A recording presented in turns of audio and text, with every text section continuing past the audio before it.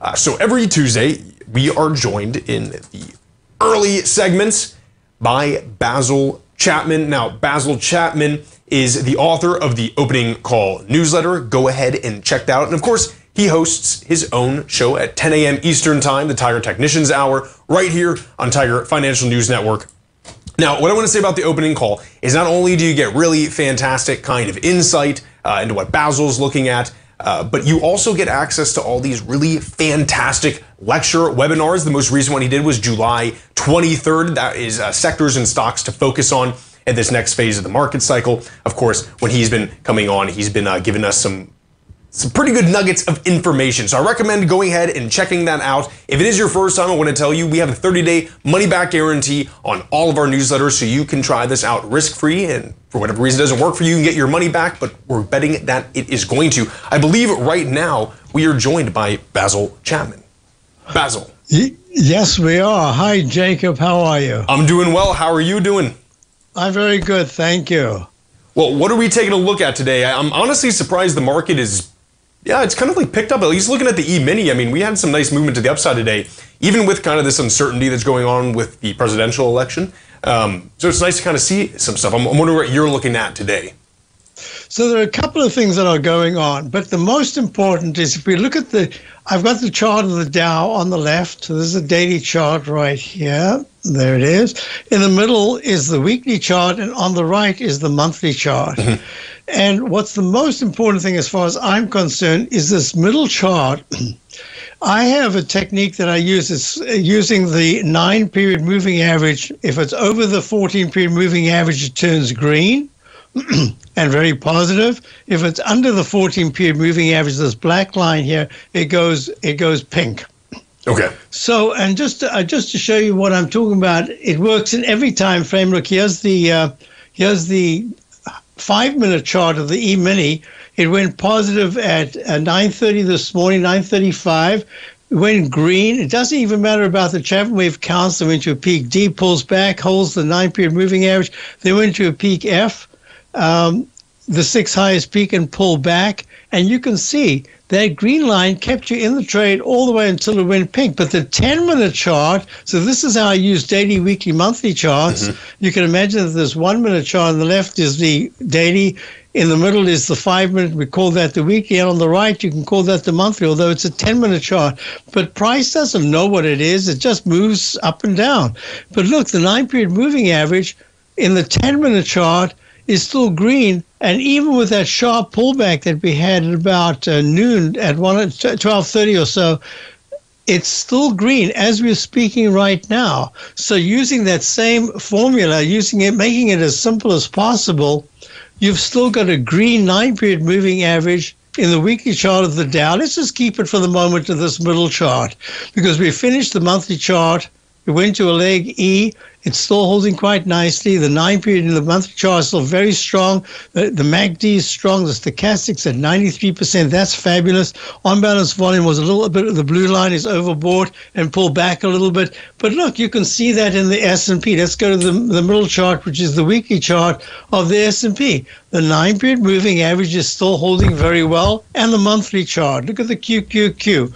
The uh, nine period moving average making a little bit of a double top. We went to 503.32 in the QQQ uh, back in July, pulled back very sharply, came all the way back, and where did it go to? 501.35 three cents away from that. Uh, sorry, two dollars and three cents away from that previous high.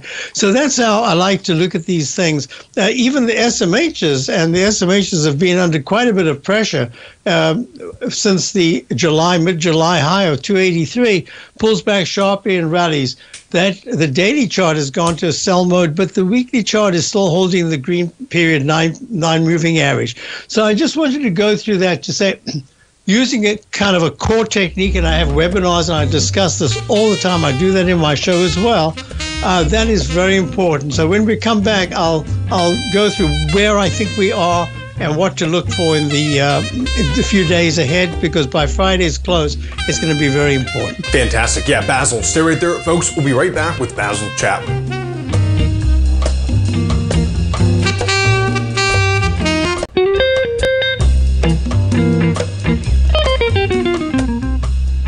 Chapman, the author of the Opening Call newsletter. Uh, Basil, let's continue. What, let's go. So I should just first of all say that we've been long the Dow um, um, for a very long time. We've been long. Even the last position that we took was back in 2023, uh, 2022 in October, and we're still holding that position. We actually also have three times long the Dow. It's not a position you're supposed to have technically, but we we've had it just kind of almost for fun. It's done very nicely.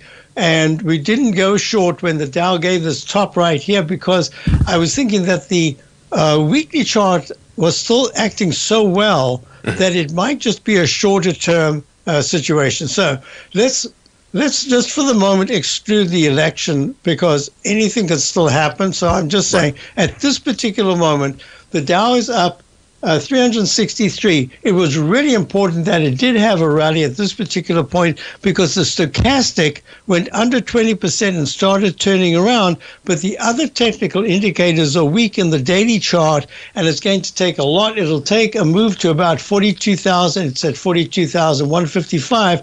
It'll take a move to about 42,500 to really start to see them get back into sync on the upside. And if the Dow cracks 41,500, regardless election or no election, whatever it is, if the price goes under closes under 4100 41,500, that's going to be detrimental to the chart pattern and you've got to be careful. Right. And that could start to affect the, the weekly chart, but it'd have to go even lower than that. It'll probably have to go to 41,000 for the weekly chart to go to a sell signal and then a sell mode. So so far that's all positive. but within the whole uh, spectrum of the market, one of the things we've been looking for is there was a relationship of the XLF, that's the deep, that's the money center banks, and they've been doing fantastic. They went to all time, it went to the SL, the S, the XLF went to an all-time high about three weeks ago to 47.81. It's trading at 46.53. But my, my, I like to look at the market in terms of relationships. So the relationship of the S&P 500 and the relationship of the XLF, I kind of put them together. I want them both to be moving to the upside in in synchronicity. But then I want to see the small caps, the two, Russell 2000, which is the IWM, moving to try to play catch up, just like gold and silver play catch up with one another every once in a while. I wanted to see the same thing. And the relationship there is that if the IWM, the small caps, the 2000, and we are along the, the small caps from the uh, from the most recent low, and that was in August. Um, if the small caps can actually garner some rotational strength, it'll allow for some of the really big caps like the Microsofts, maybe even Nvidia, take take a bit of a breather.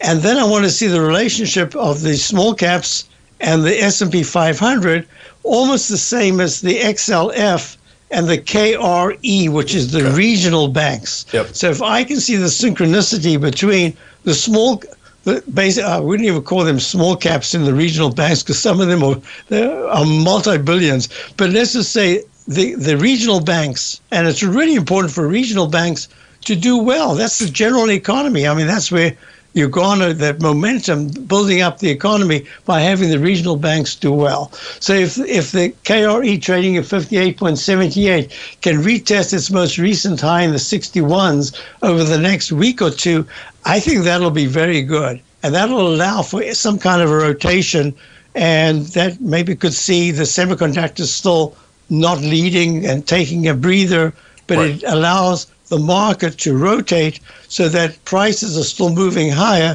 even though other areas are digesting gains. To me, that's important. That's different to when you get a sell signal and everything comes down together. I like the rotational aspect.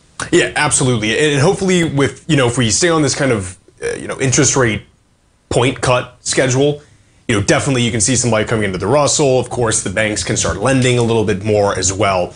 And uh, so it'll be fantastic to kind of see that happening. Basil, are you looking at any uh, specific equities equities today? I know you usually talk about Hood, maybe even things within uranium. I know sometimes you look at ETS. Yes. I'm just curious so, if you got uh, anything uh, on that. Within the sector, excuse me, yeah. I don't know why I suddenly, let me take a drink of water.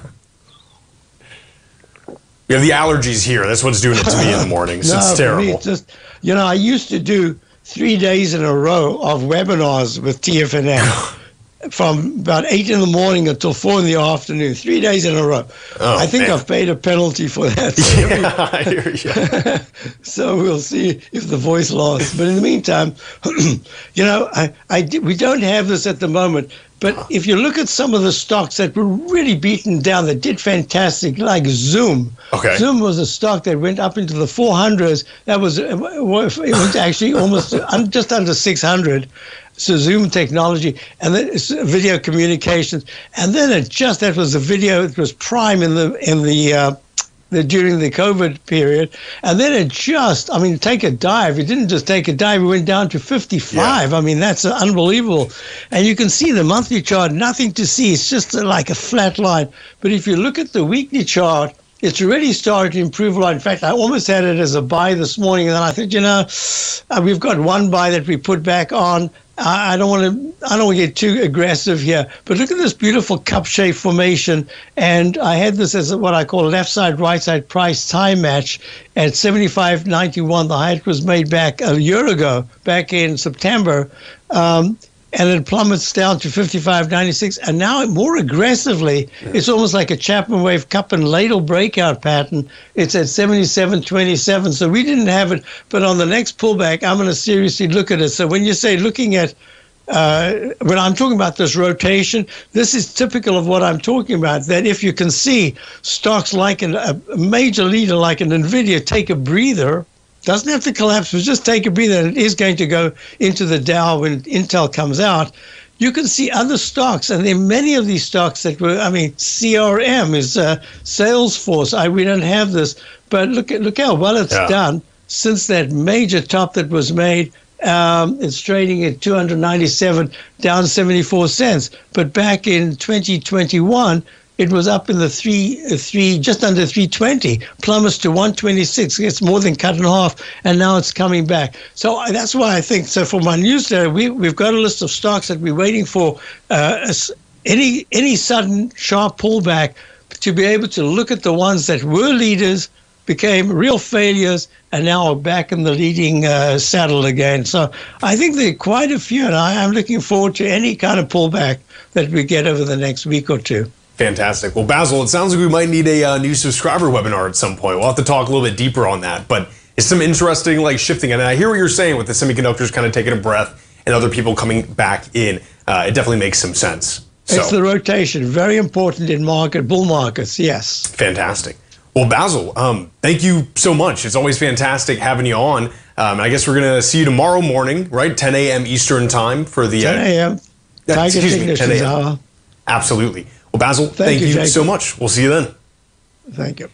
Yeah, and guys, seriously, I mean that analysis is great. You can see him at 10 a.m. Eastern time. It's fantastic. Traders, uh, excuse me, the uh, Tiger Technicians Hour, and really check out this newsletter. It's an opening call newsletter by Basil Chapman.